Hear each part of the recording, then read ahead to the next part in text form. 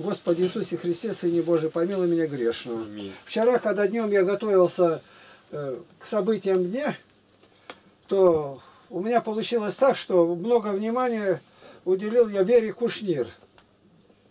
Вера Сергеевна, э, баптистка была такая. Ее стихотворение на музыку положили. И так и думал, что будет э, в событиях дня. Но я потом подумал там ночью об этом, помолился, что-то как-то из памяти не выходит. Решил отдельный ролик сделать. Почему, не знаю. Понимаете, у меня это не все неведомо. И сегодня, когда считаем мы события дня и недостающее место, да, чтобы часовой был ролик вопросы и ответы из моих книг-то. И последние стихи Веры Кушнир идут и идут. Ни одно при том. Вот я удивляюсь всему этому. До этого были они стихи, ее не было. А до этого я хотел ролик составить, за всю жизнь никогда не хотел.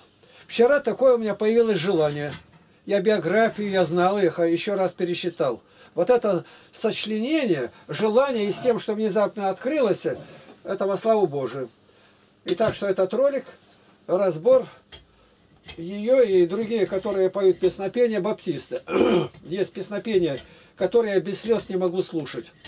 Я у них, когда посещали собрания, кому какое песнопение спеть, хор, они записки получали и пели такие. Вот это живой отклик на душе. И я всегда сидел и плакал. Они говорили, а что ты плачешь? Вот этот стих меня так трогал. Вот есть место есть. И вот это я обратился в 1962 году, 27 сентября в 17.00, город Венспас, Латвия. И там были у нас занятия, занимались баптисты, пятидесятники вместе. Ничего не могу сделать с тобой. Понимаешь, нет? Ты свое давишь, и все вечером ложись раньше спать. Мы ответственное дело делаем ты, а ты через призму сна это смотришь. Нехорошо это. Вот. И вот э, есть место есть. Господь в чертог зовет. Есть место есть. Прочитай слова. Сейчас прочитаю. Есть место есть. Господь чертог зовет. С выражением. Чертог святой, он сам тебя ведет. Тебя зовут, ты зов не отклони. Тебя там ждут, туда, туда входи. Припев. Тебя зовут, ты зов не отклони. Тебя там ждут, туда, туда входи. Есть место есть, есть место есть.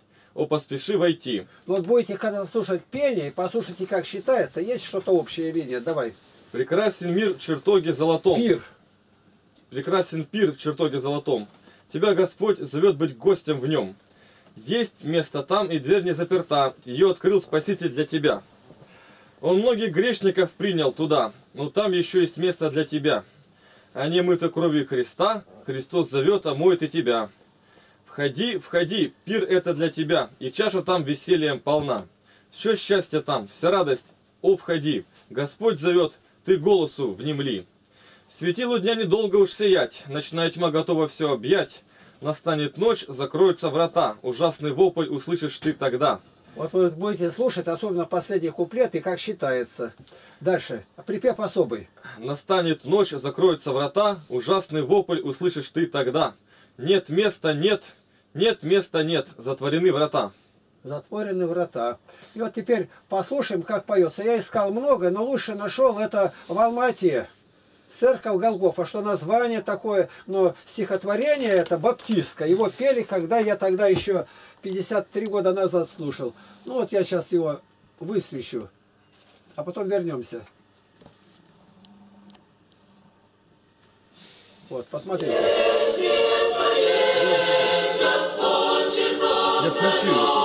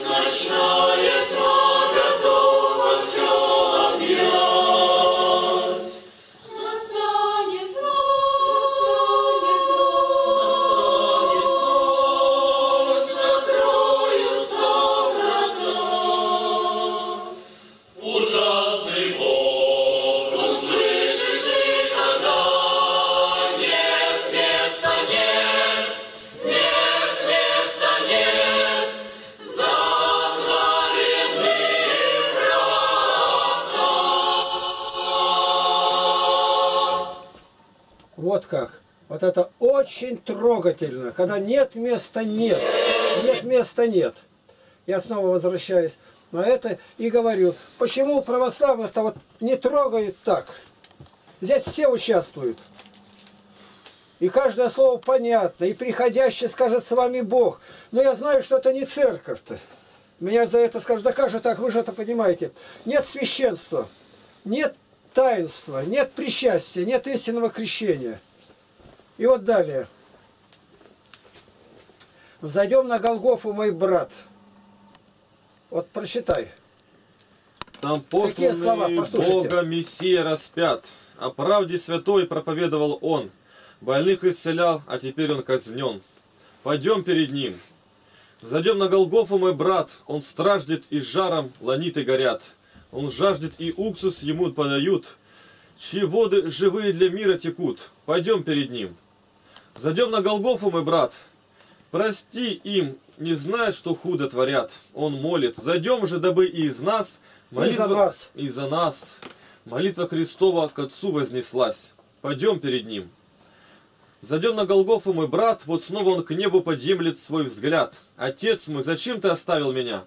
О, брат мой, что принять тебя и меня, пойдем перед Ним. Зайдем на Голгофу, мой брат, страдальца святого, слова там звучат. Свершилось, я дух мой тебе предаю. За нас он пожертвовал душу свою. Пойдем перед Ним.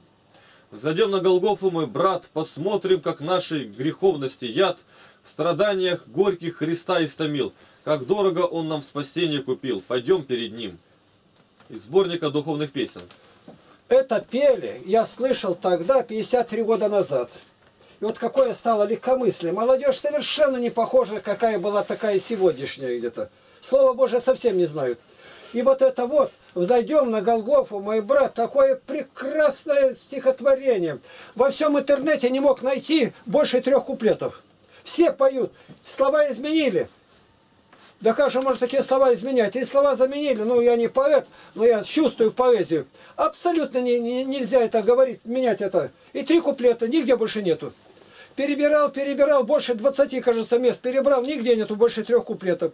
Тогда открыл у себя открытым оком 16 том, и у меня помещено там баптистских песнопений 60.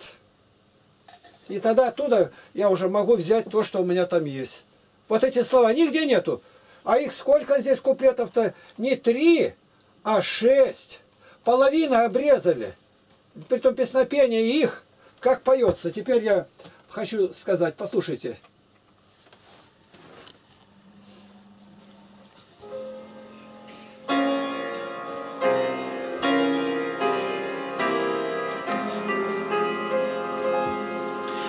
Зайдем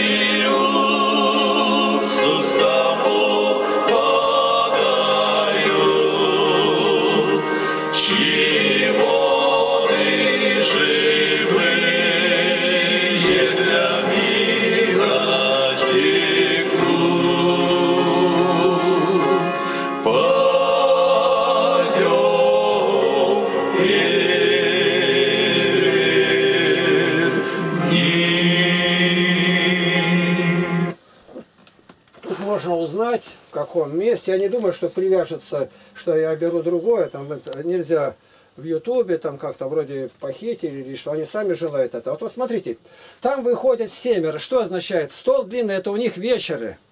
Это литургия у них будет. Все до одного бритые, все до одного в галстуках, масонский галстук.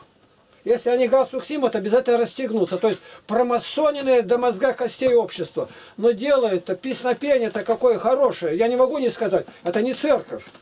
У них нет рукоположения от апостольских времен. И все остальное, как Бог-то примет, так когда вне церкви нет спасения.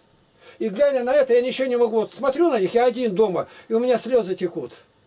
Такие люди, и видно, что ну, обязательно галстук, но они знают, что откуда галстуки. Ну открой везде, написано масонский знак. Удавка готовая, ошейник надетый. Бери и веди за поводок его. Вчера только мы это слушали, ролик специально такой.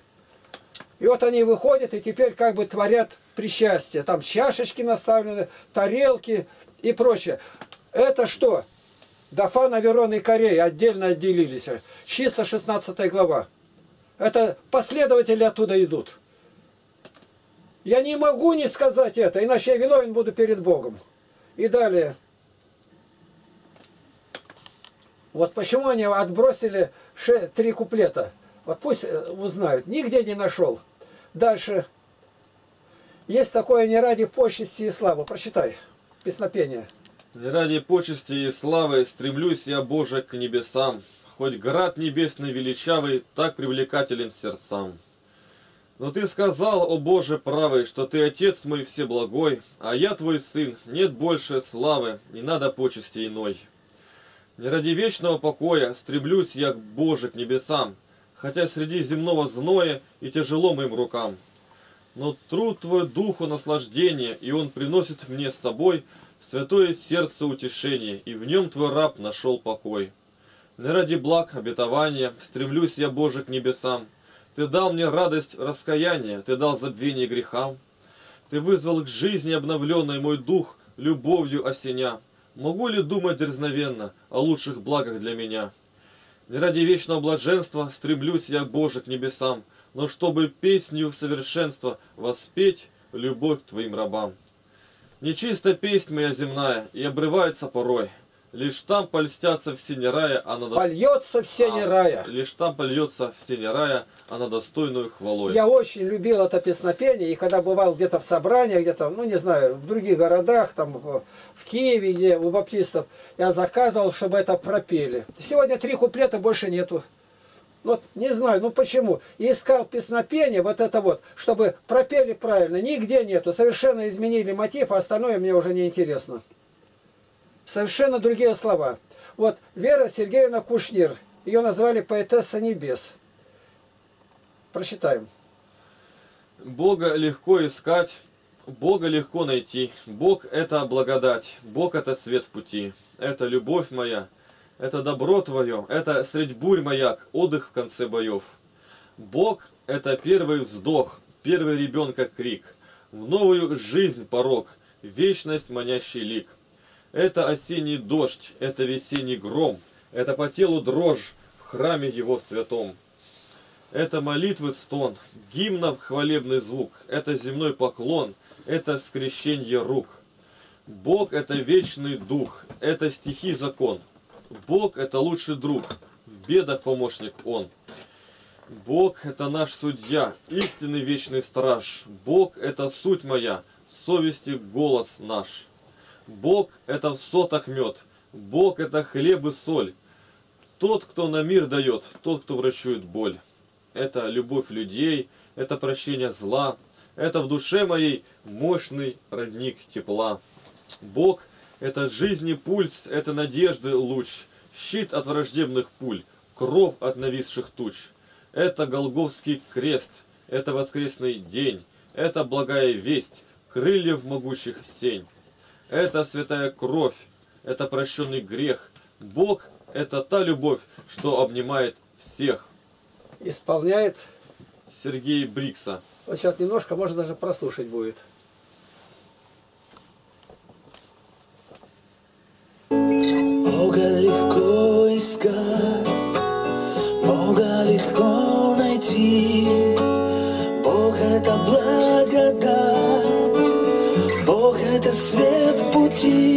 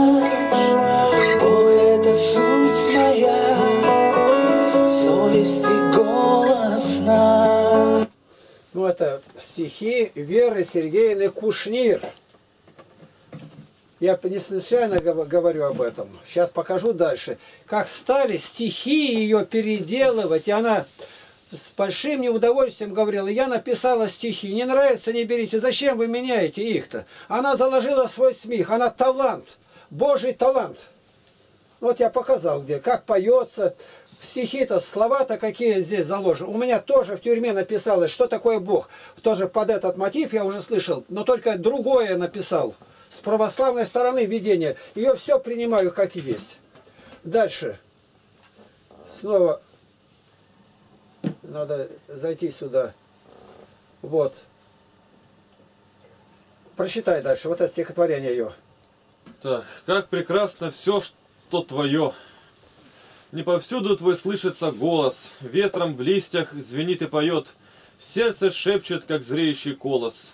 Это горы, покрытые мхом, эт- эти волны, покрытые пеной, этот берег с горячим песком, это солнце бескрайней вселенной. Боже мой, это ты, это ты, я с тобой повсюду встречаюсь, когда рву мимоходом цветы или на чей-то поклон отвечаю. Мне повсюду видна твоя кисть, твой резец и твой почерк с размахом. В детском взоре, что светел и чист, и в мужских просто пропотелых рубаках. Они заменили это слово, она говорит, я видела, что этим рождается все, посев. Мужские, он главную силу несет пропотелые рубахи. Они заменили там, там на смех или что-то такое. И она выговаривает им. Я видел ролик такой. Зачем, говорит, они это делают-то? Это ты нам даруешь детей, это ты научил нас трудиться. Потому я хочу все сильнее и все чаще, усердней молиться. Боже мой, это ты открылил мою душу нетленной надеждой и отрепья земные покрыл своей новой чистой одеждой. Это ты меня петь научил, потому моя песня не смолкает. Это ты в меня свет свой пролил, он и вечности не угасает. Как прекрасно все то, что твое. Под величием твоим я не имею, это ты, это ты мне даешь все то доброе, что я имею. Вера Сергеева на Кушнир. Вот я хочу показать, как это песнопение зву- звучит. А потом вернемся дальше.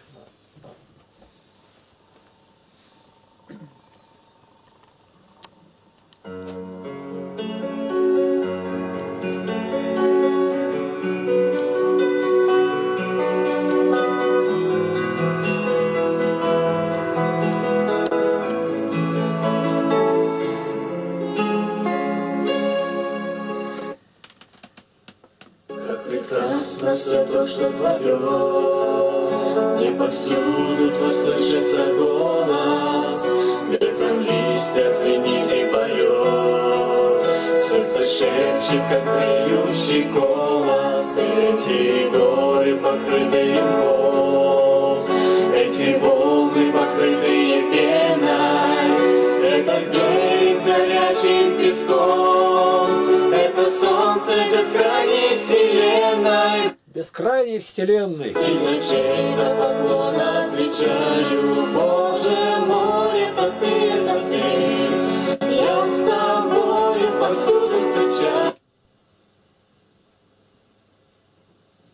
Ну, вот тут, за, за... Когда рву мимоходом цветы, И на чей-то поклон отвечаю.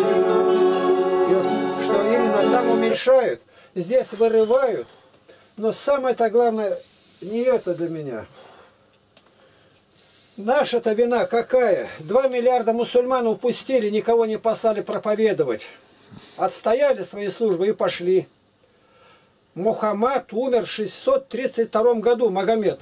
И ни одного проповедника не послали за 6 столетий. А они на 6 столетий позже, смотрите, куда дошли, до Казани. Мордва разная, все мусульманские. Ближний Восток, туркмены, узбеки, это они пришли. За 6 столетий не смогли пройти сюда. И все, что монашество, монашество заблокировало всех. А теперь не знают, что делать с мусульманами. Традиционные религии традиционно режут головы. И вот эти люди-то, протестанты-то, их сегодня больше, чем православных раза в два, как дается статистика. Даже больше, может быть. А это все православные могли быть. Гнали сектантов. Не гнали никогда. Степняка Кравчинского посчитайте. Я вчера говорил это, или сегодня говорил про этого. Куприн написал, это анафема. Какой голос должен быть, звенели у него. Паникодило. И здесь Какие умницы люди. Но не в церкви. Нет причастия. Где нет причастия, нет жизни.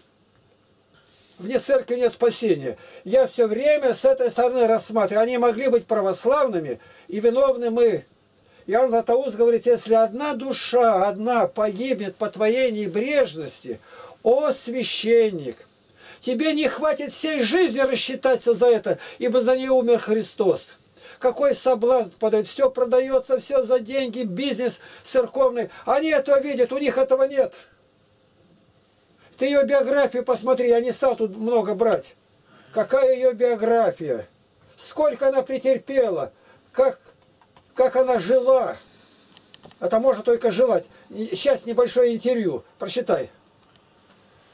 Так, что посоветуете молодежи, готовящейся к вступлению в брак? Что наши посоветуют? И что она советует? В брак нужно вступать, и создавать семью следует на скале, на твердом основании, а не на песке, которому свойственно рассыпаться. Не дать увлечь себя половыми чувствами. Все. А именно на этом основывается. Дальше. Что посоветуете сестрам Господи? Ответ. У Бога для семьи установлен твердый порядок. Иисус – глава мужу, муж – глава жене как это не свойственно, кажется, протестантам-то. Такие они все без платков и вообще не вольные. Жена должна осознавать, что глава и авторитет в семье муж, и принять этот порядок. Я приняла. Приняла, потому что это сам Бог поставил над нами мужей. Бог поставил, дальше уже не надо рассуждать. Бог поставил. Вопрос отпадает. И нам от этого легче. Наша покорность мужу приносит благословение в семью. Наша покорность делает мужа конечном счете таким, каким мы хотим его видеть. А тут так, жена не заладила с мужем, семь ребятишек, всех схватила в соседней деревне, и его даже не вызывали, развели, готово дело. А муж у нас по Теряевке остался. Семь! А почему? Трансмировое радио слушала. Сергея Журавлева слушала, а священника не слушала. Принимала крещение у нас, молилась, причащалась. Все полностью, говорит, шлея под хвост попала. Как это так? Она говорит. Так, нельзя нарушать установленный Богом порядок. На 85-м году жизни отошла Господу Вера Кушнир, Это из... известная христианская поэтесса и писатель. Сообщил в своем блоге ее друг поэт Сергей Сапоненко. Вера Кушнир – личность в христианском мире поистине легендарная. Она была среди пионеров славянского движения в США. С уходом в вечность Вера Кушнир ушла в историю целая эпоха русскоязычной эмигрантской духовной и литературной жизни, но осталось творческое наследие, стихи и проза. И это наследие еще много лет будет служить людям. Родилась Вера Сергеевна Кушнир в сентябре 1926 года в городе Сталино, нынешнем Донецке, и была третьим ребенком в семье. Внучка пастора и миссионера Леона Лазаревича Розенберга, трудившегося с 1900 по 1922 год среди евреев Одессы, основателя протестантской миссии Вифиль. То есть не православных корней у нее не было. Дочь Сергея Сергеевича Абрамовича Абрамова и Евгении Львовны Розенберг. Перед концом Второй мировой войны попала с семьей на Запад. Работала на авиационном заводе у токарного станка. Вышла замуж за Евстахия Николаевича Кушнира. В конце- Кушнира. Кушнира. Ну, вообще. В конце 40-х годов переехала в США. С 59 года принимала участие в евангельском радиовещании на русском языке. Христианский поэт и писатель с 1980 года работала в дире- директорате миссии Вифиль США, а после 1994 года некоторое время была директором миссии. Член редакционной коллегии газеты «Наши дни», издаваемой Тихоокеанским объединением славянских евангельских христиан-баптистов Сакраменто, штат Калифорния, США. Издала несколько сборников духовной поэзии, рассказы для детей, проживала в городе Санта-Барбара, штат Калифорния, США. Вот она, показана. Роман Горбунов. Я смотрю ваши ролики, как а, на- ну это уже другое. Ага. Это надо, надо было мне ее выделить. Ну, на, на следующий день останется. Сейчас я знаю, когда я выставлю ролик, и баптисты, другие, но вы же понимаете, а рождена ли она свыше? Рождена, не со... рождена на сто процентов. В Духе Святом, в Духе Святом рождение, а дальше засыпает на той первой ступеньке. Почему они церковь не искали? Почему они, дальше-то разбирать не надо, откуда возникла это баптизм? В 1609 году в Роджерсе 1639 году первая община возникла. В 639, 1600. А 16 столетий, что церкви не было. Ну почему они об этом никак не заботятся-то? Это не оконченное дело. Один пять к титу. Для того я оставил в Крите, чтобы довершил недоконченное. 14-23 деяния. И каждая церковь рукоположил пресвитеров. Вот здесь как будто бы грань какая-то, как шибер, закрывает и дальше не видят. Сейчас скажут, да вы за собой смотрите. Я знаю, что они скажут, но думать не будут. Я очень уважал, даже любил Ярла Николаевича Пести. Но почему он не православный? Пусть он остается при всех своих понятиях. Рукоположения нет, причастия нету. Причастия нету, нет жизни. Об этом говорится неоднократно. Евангелие от Иоанна, 6 глава. Кто не будет есть плоти, плоти Сына Человеческого, не будет иметь жизни. Они, когда раздают, я говорю, что хлеб. Но этот хлеб вы взяли, преломили. Кем он, чем остался? Хлебом. Так тело? Нет, тела нет, говорит. Я говорю, а почему виновен против тела, если недостойно причащается? Но это Павел говорил так, у нас нет. То есть они никогда не претендуют, что это тело. То есть Бог какой-то ставит преграду, они никогда не говорят. И в крещении прощения грехов нету. Почему? Ну, это обещание Богу в доброй совести. Ну, написано, встань, крестись и омой грехи ты, омой. Быть это вода. Нет, у нас этого нету. То есть они говорят правильно, что нету там, нету прощения грехов. И нету жизни. Я понимаю, как это, как один юноша говорит, я нашел такое в православии. Мне там один показал, этот человек меня называет, он прямо зовет от смерти в жизнь, о рождении свыше, в православии такое. Я, говорит, сейчас прямо ищу, где он говорил. Вдруг нашел, он говорит, что баптисты это не церковь. Мне до того противно стало сразу, больше никогда его не смотрю. Я говорю, я в Пензе был у баптистов. Меня сразу провозгласили они, пророк Илья к нам пришел. А потом, когда стали беседовать, я стал показывать, что иконы не идолы, они сразу гнилое бревно. И все. А Господь говорит, 1 Коринфянам 4,5, определять участь, где они будут, я не определяю, я говорю. Вне церкви нет спасения, это определенно. А где нет рукоположения, это не церковь, собрание верующих. А иначе все 21 тысяча сектантов, ереси разных, деноминация, конфессия, нет этих слов в Библии-то, ну нету. Есть ересь. И пастор нету этого. И кафедра нету этих слов. А то все, что по Библии. Пастор. Пастырь есть, а пастор нет. Это подмена. Под видом пастыря пастор. Что там? Э, Взбивали, говорится, масло сливочное, там это есть такая пахта давалась. Отдается. Вот тут остается. Я когда слушаю, какая она, как жила, как у нее в Германии двое детей умерли, а здесь четырех еще приобрела от Бога. Сестра родная.